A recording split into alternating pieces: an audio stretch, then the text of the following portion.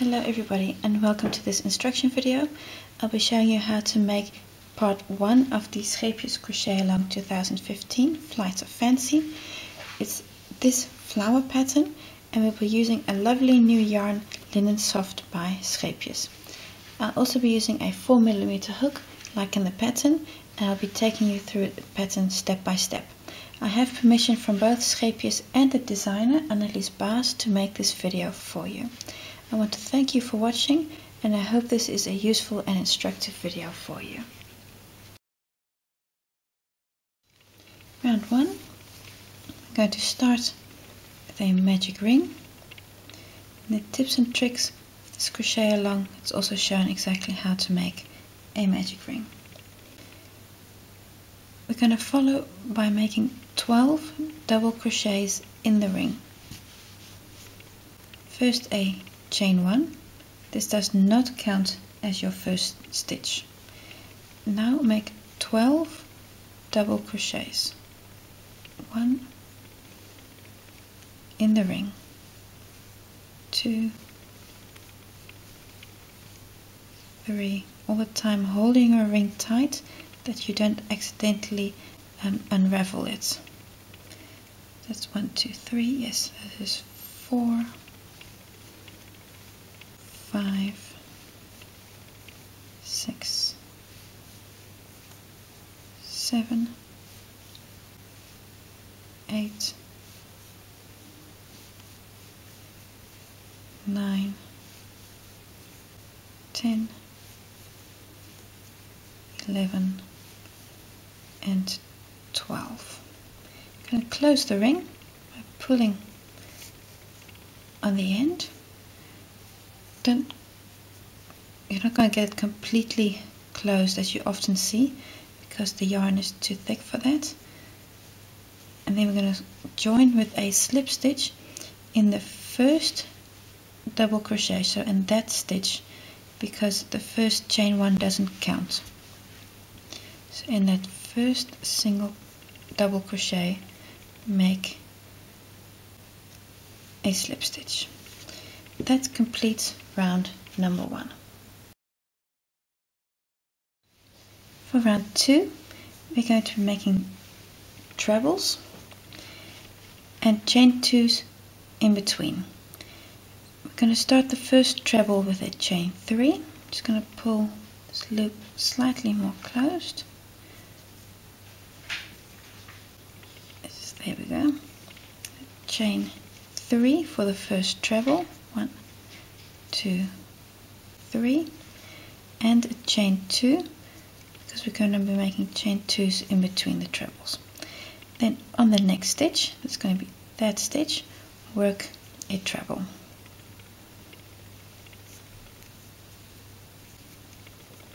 Yeah. and a chain two. And this you're going to be doing in each and every stitch. Treble followed by a chain two. So that in total going to have 12 posts and chain twos in between. And a next treble. And chain two. And on the next stitch so I'm going to go make a fast forward here go a bit quicker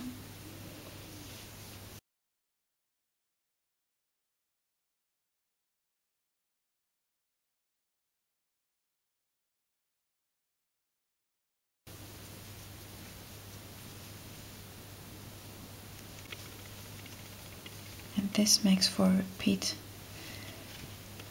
number 11 chain 2 at this point you should have 12 posts. That's 1 2 3 4 5 6 7 8 9 10 11 12 posts and chain 2s in between. I'm going to close this round by joining with a slip stitch in the third of the five chain stitches that's number three that's this one here enter into and close with a slip stitch you can cut off your yarn and pull through because in the next round we're going to add a new color. That completes round two. Round three, we're going to join a new color and we're going to be doing that in any chain two space. I'm going to start in this space, the space just before the slip stitch join. The reason for this is that I'm going to, when I attach my yarn here, on the next round, I, on the next space, I can already take this piece of yarn with me. So I've got a new color yarn, I'm going to attach it with a slip stitch. So I'm going to hold it tight, enter into the space where I want to connect it to, and pick it up.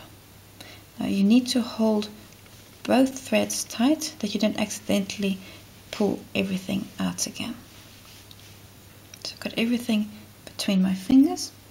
And then we're going to start with a chain 1 which does not count as your first stitch. And then we're going to be making a double crochet, chain 3, treble 2 together, chain 3 and double crochet all in the same space. I'm going to start with that double crochet in the space. Then a chain three that's one two three. And now we're going to be making a treble two together so it starts with making a treble crochet but only the first bit. So we're taking off two loops of yarn then pick up another loop and start again a treble and take off two loops. Now you have three loops on your hook. Take them all off in one go. That's your treble two together. Chain three. One two three and now again a double crochet in this same space. I'm going to move everything up a bit. All the time I've been holding onto the um, end from the new color and I've been working over it in this space. And now make a double crochet. This here we're in essence going to be repeating on each and every space. So I'm going to be making 12 of these petals. Move to the next space. It's this one here chain two space. And when I'm working there I'm going to be working over these two threads. Is the end from round two and the start from round three. I'm going to show you the repeat once more. So in the next space make a double crochet followed by a chain three. Now again a treble two together. So I'm going to make a treble but only take off the first two loops then start another treble and take off two loops and now take them all off in one go. Chain three one two three and again a double crochet. All in the same chain two space. You can see how I've been covering. Show you at the back. I've been taking these two threads with me I've worked over them. So by doing so I'm immediately working them taking them into my work so I don't have to work them in at the end and then they're covered really well. This is the repeat. I'm going to do this for each of the 12 petals show you one more repeat and then I'll make a jump in the video. So that's a double crochet in the next space chain three a treble two together. That's the first half of the treble and make the first half of the second treble as well. Three loops on my hook take them all off. Chain three and then again a double crochet in the same space. Do these repeats on all chain two spaces. When you've made all 12 petals, you still need to close this round by joining with a slip stitch in this first double crochet right at the beginning. So not the chain one but the double crochet stitch see there it is. Oops. That double crochet. And close with a slip stitch. There we go. That completes for round three.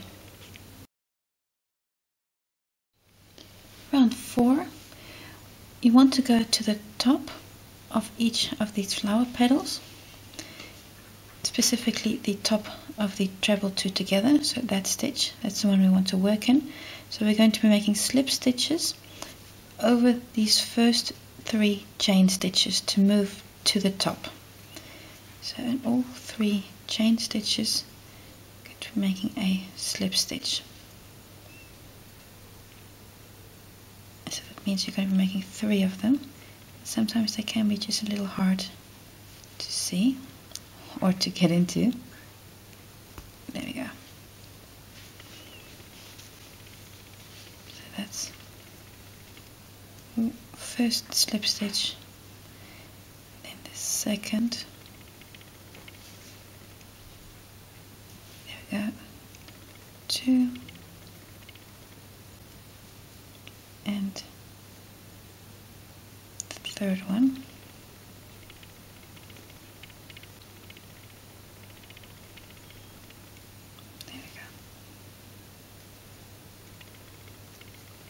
Brings us to the top here. Now we're going to be making a double crochet in this next stitch, that's that stitch there, the treble two together stitch. Make a double crochet on that stitch. I'm going to make chain four and then go to the next petal. So one, two, three, the next treble. Two together so the center one here. Enter into and make a double crochet. You'll see your flower will really start to wobble. At this point you're going to fix that with blocking. Again chain four. Two three four. And make a double crochet again on top of the next treble two together. So it's this center stitch here a double crochet. Gonna go like this all the way around with a chain four followed by a double crochet in the top of the petal so in the treble two together stitch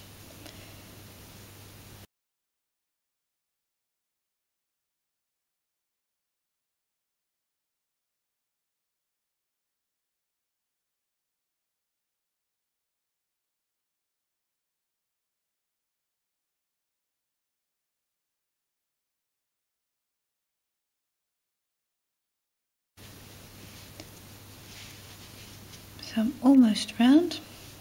Make the last double crochet here. Then again a chain four. One, two, three, four. And we're going to close with a slip stitch in this first double crochet here right at the top where we started. So make a double crochet, or sorry, a slip stitch in that double crochet there we go. Cut off and pull through.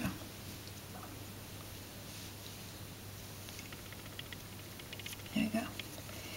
That completes your first flower. Now you're going to be making eight of these in total. And you'll also notice that it's wobbling all over the place so you'll really have to block it to get it nice and flat like this one. Also check your size, that they're all the same size, that you don't have one much larger or smaller than the other. And also this should be, before blocking, nine and a half centimeters. So also check your size here. If it's much bigger or much smaller, you may want to change your hook size. So this completes your first flower. I want to thank you for watching and I hope to see you again for part two of our crochet along.